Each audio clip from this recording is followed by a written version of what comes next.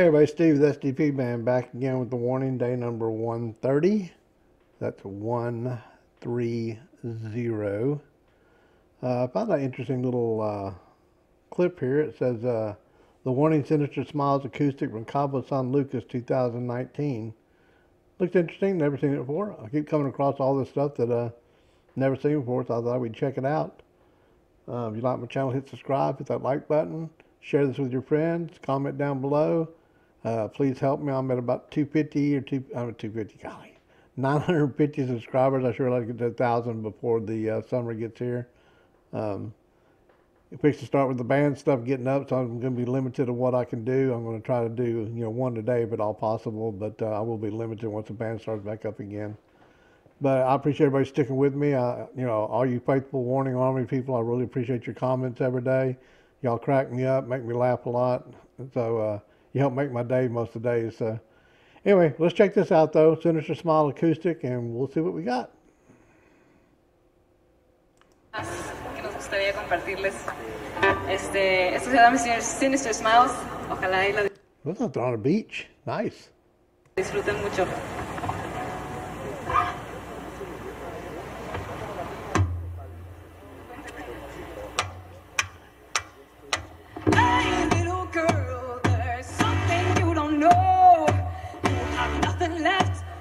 Body control. I'd walk away,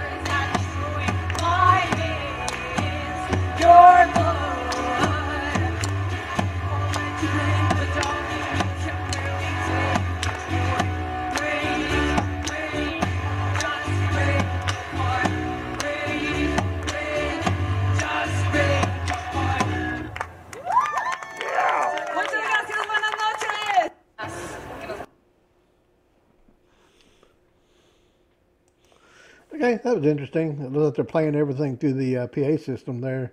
I don't see any amps on the stage, so uh, they're plugged into the uh, mixer back there and playing them through the PA system.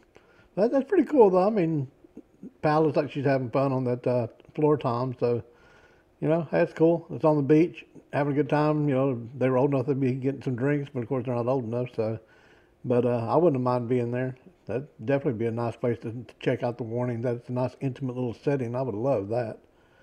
Anyway, day number 130. We're going to try to keep it going. Got band practice tomorrow night. I'll try to get something on before we start playing.